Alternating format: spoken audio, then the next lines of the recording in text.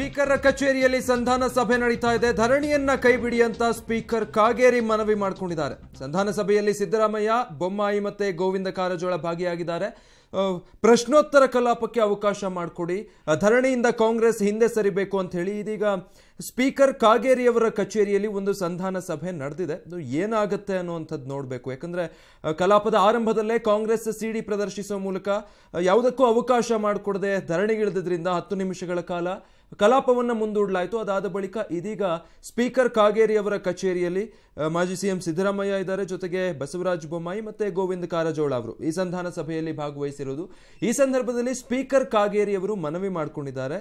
ಪ್ರತಿಭಟನೆ, ಧರಣಿಯಿಂದ ಕಾಂಗ್ರೆಸ್ ಹಿಂದೆ ಸರಿಬೇಕು. ಆ ಮೂಲಕ ಪ್ರಶ್ನೋತ್ತರ ಕಲಾಪಕ್ಕೆ ಅವಕಾಶ ಮಾಡಿಕೊಡ್ಬೇಕು ಅಂತ ಹೇಳಿ. ಬಟ್ ಕಾಂಗ್ರೆಸ್ನ ನಿಲುವು ಏನಾಗುತ್ತೆ ಅನ್ನೋದು ನೋಡಬೇಕು. ಮತ್ತಷ್ಟು ಅಪ್ಡೇಟ್ಸ್ ಕೊಡ್ತಾರೆ ಮಸೂದ್. ಮಸೂದ್ ಈಗಾಗಲೇ ಕಾಂಗ್ರೆಸ್ ಧರಣಿಗೆ ಮುಂದಾದದ್ದು ಕಲಾಪ ಮುಂದೂಡಿಕೆ ಆಗಿದೆ ಸೊ ಸಂಧಾನ ಸಭೆ ಏನು ಯಶಸ್ವಿ ಆಗೋ ಹಾಗಿದೆಯಾ ಅಥವಾ ಇವತ್ತಿನ ಇಡೀ ಕಲಾಪದಲ್ಲಿ ಸಿಡಿ ಗದ್ದಲವೇ ಮುಂದುವರಿಯುತ್ತಾ ಹೇಗೆ ಅಂತ?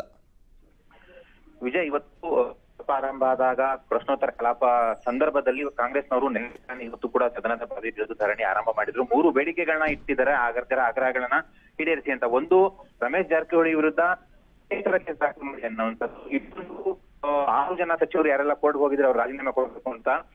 ಜೊತೆಗೆ ನ್ಯಾಯಾಂಗ ತನಿಖೆಗೆ ಪ್ರಕರಣ ಕೊಡಿ ಬೇಡಿಕೆ ಈಡೇರಿಸಿ ಅನ್ನುವಂತಹ ವಿಚಾರದಲ್ಲಿ ಸೀಟ್ಗಳನ್ನೇ ಪ್ರದರ್ಶನ ಮಾಡಿಕೊಂಡು ಧರಣಿ ಮಾಡಿದ್ರು ಆಗ- ಹಾಗಾಗಿ ಸ್ಪೀಕರ್ ಅವ್ರ ಮನವಿಗೂ ಕೂಡ ಅವ್ರು ಬದಲಿಲ್ಲ ಹಾಗಾಗಿ ಹತ್ತು ನಿಮಿಷ ಸದನ ಮುಂದಬೇಕಾಯ್ತು ಈಗ ಸಂಧಾನ ಸಭೆ ಮಾಡ್ತಾರೆ ಖುದ್ದು ಮುಖ್ಯಮಂತ್ರಿಗಳು, ಸ್ಪೀಕರ್ ಅವರು, ಬಿಜೆಪಿ ನಾಯಕರು, ಕಾಂಗ್ರೆಸ್ ನಾಯಕರ ಮನವೊಲಿಕೆಗೆ ಮುಂದಾಗಿದ್ದಾರೆ.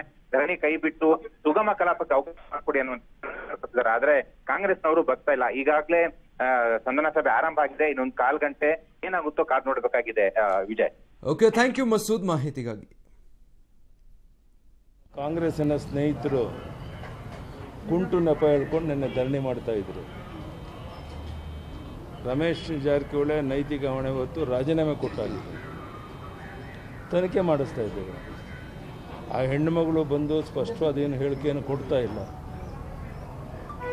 ಇಷ್ಟಾದರೂ ಸಹ ಧರ್ಣ ಕುಂತ್ಕೊಳ್ಳುವಂಥದ್ದು ಎಷ್ಟು ಮಟ್ಟಕ್ಕೆ ಸರಿ? ಇವ್ರಿಗೆ ಚರ್ಚೆ ಮಾಡೋಕ್ಕೆ ಬೇರೆ ಇಶ್ಯೂಸ್ ಇಲ್ಲದೇ ಧರ್ಣ ಕುಂತು ಕಾಲಹರಣ ಮಾಡಿ ಬಡ್ಜೆಟ್ ಅಂತ ಪ್ರಮುಖ ವಿಷಯಗಳ ಬಗ್ಗೆ ಎಲ್ಲರೂ ಮಾತನಾಡೋಕ್ಕೆ ಅವಕಾಶ ಕೊಟ್ಟಿದೆ. ಸರಿಯಾದ ರೀತಿ ನಡ್ಕೊಳ್ಬೇಕು ಅವರು, ಅದು ಬಿಟ್ಟು ಈ ಥರ ಮಾಡ್ತಾ ಇದ್ದಾರೆ, ಅದು ಎಷ್ಟು ಮಟ್ಟಿಗೆ ಸರಿ ಅಂತ ನನಗೇನು ಅರ್ಥ ಆಗ್ತಾ ಇಲ್ಲ. ನಾನು ಈ ಸರ್ ಅವು ಸರ್ ಹೇಳ್ತೀನಿ, ನಾನು ಒಂದು ಶಬ್ದ ಮಾತಾಡದೆ ಕುಂತಿದ್ದೆ. ನಿಮ್ಮೆಲ್ಲರ ಮಾತನ್ನು ಕೇಳಿದ್ದೀವಪ್ಪ. ಸುಸೂತ್ರವಾಗಿ ಬಡ್ಜೆಟ್ ಅಧಿವೇಶನ ನಡೆಯೋಕ್ಕೆ ಬಿಡಿ, ಈ ಸತ್ಯಾಗ್ರಹ ಯಾವ ಕಾರಣಕ್ಕೆ ಮಾಡ್ತಾ ಇದ್ದೀರಾ? ಇನ್ನೇನಾಗಬೇಕು? ತನಿಖೆ ಮಾಡಿಸ್ತಾ ಇದ್ದೇವೆ ಅವ್ನು ರಾಜೀನಾಮೆ ಕೊಟ್ಟಾಗಿದೆ. ಆ ಹೆಣ್ಮಗಳು ಕೈಗೆ ಸಿಗ್ತಾ ಇಲ್ಲ. ಹುಡುಕ್ತಾ ಇದ್ದೀವಿ. ಈ ಸಂತಿಗಳು ನಾನು ಹೇಳೋದು.